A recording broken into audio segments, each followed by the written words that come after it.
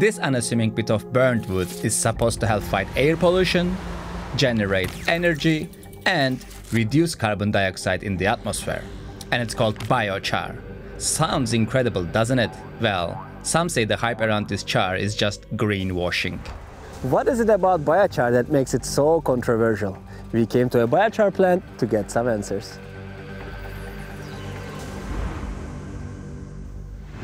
This is a brand new biochar plant and it produces much more than that and we will come to that in a second. Biochar is wood or any other organic material that is burnt up to 700 or 800 degrees in the absence of oxygen and that is called pyrolysis. The heat evaporates the substances inside the biomass. They are emitted as combustible gases and biooil, which can be used to generate energy. And what we are left with at the end of the process is pure, stable carbon. Once the biomass starts burning, most systems can sustain themselves without using additional energy. As part of the planet's carbon cycle, plants absorb CO2 from the atmosphere and grow as biomass. But when they die, they decompose, and most of the CO2 they sucked up is released back into the atmosphere. But instead of decomposing or burning, if we turned them into biochar, we could lock half of their carbon into the soil or elsewhere for hundreds of years. The people are more and more aware of that we need to store more and more carbon. This is Kaspar Ziegner, the CEO of Novocarbo. They are planning to be fully operational by the first quarter of 2024. Until then, they are optimizing their systems.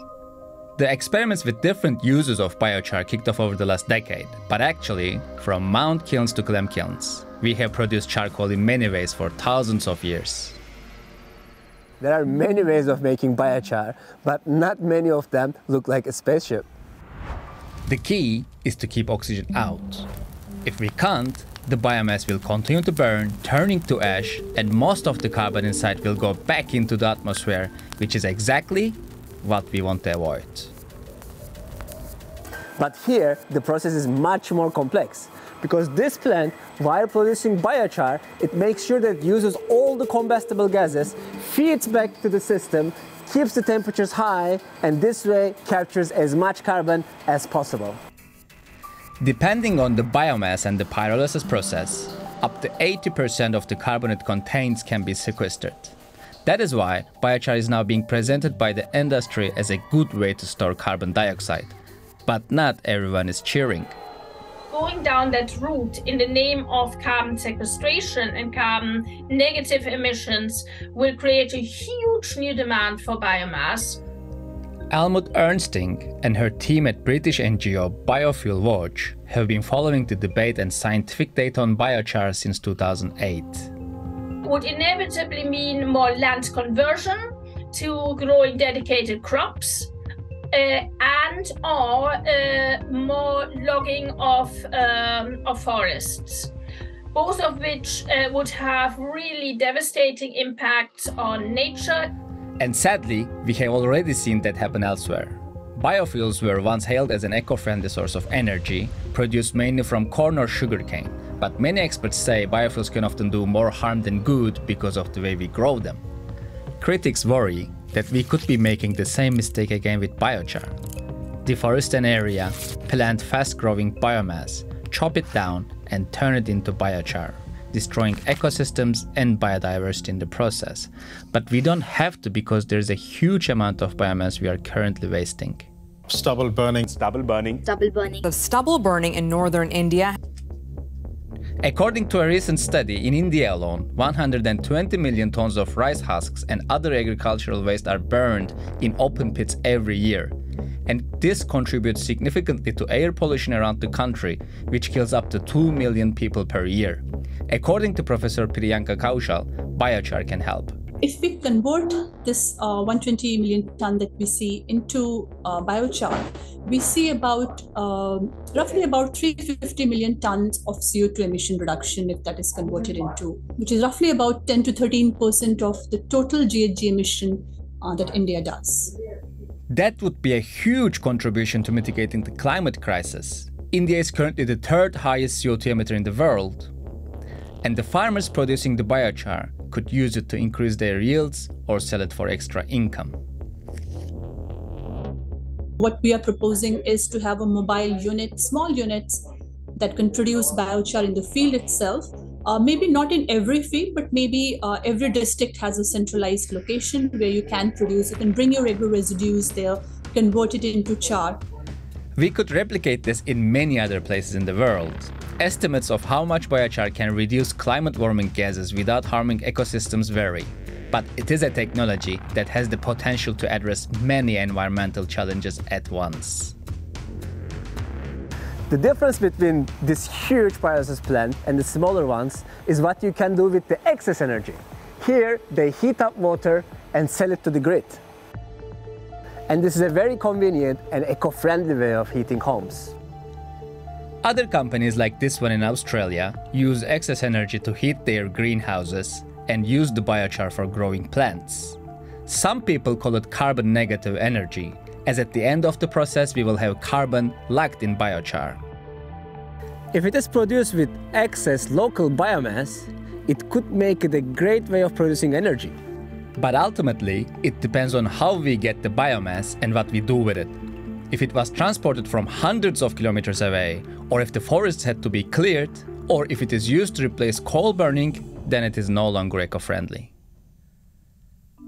Novocarbo may sell hot water to the city, but its main product goes to farmers.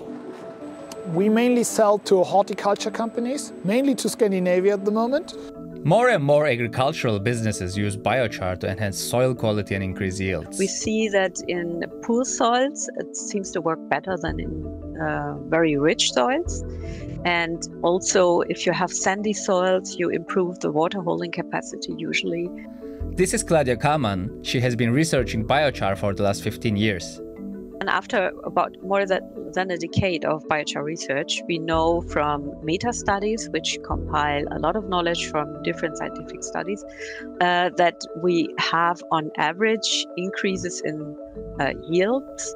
But critics say that these average biochar results hide inconsistencies and in some cases actually cause harm impacts on soil can be negative, can be neutral, can in some cases be positive, and nobody can predict how it will play out at any one time. Many scientists say they do not fully understand why biochar does what it does, but they can measure the results. In many cases, these are positive, but scientists struggle to create conditions where biochar's effects are 100% predictable. The critics are not totally incorrect. So it's um, it's it's not a black fairy powder that works the same kind of miracle everywhere, but you can normally extract cases where it works quite well. And these cases are widely known. Biochar works wonders in the nutrient-poor soils of the tropics. That is because biochar has an incredible surface area. This will sound crazy, but 1 gram of high-quality biochar can have more surface area than a basketball court. This makes biochar an amazing host for all the fungi, bacteria, and the microbes that are essential for plant health. It can also retain the nutrients, making them available for the plant. The same goes for water because biochar can store up to 5 times its own weight. That is why biochar can help increase yields, particularly in sandy soils that otherwise easily lose water and nutrients. And it also has other surprising effects. Nitrous oxide is a very powerful greenhouse gas that has, on average, more than 280 this time of warming potential than CO2 has over 100 years. And uh, nitrous oxide is mostly formed from uh, the huge amount of fertilizers that we use. Bacteria in the soil can break down nitrate based ammonium fertilizers into N2, which is not a greenhouse gas. But we put so much fertilizer on the land that the microbes can't process it all, and it goes into the atmosphere as the climate killer nitrous oxide.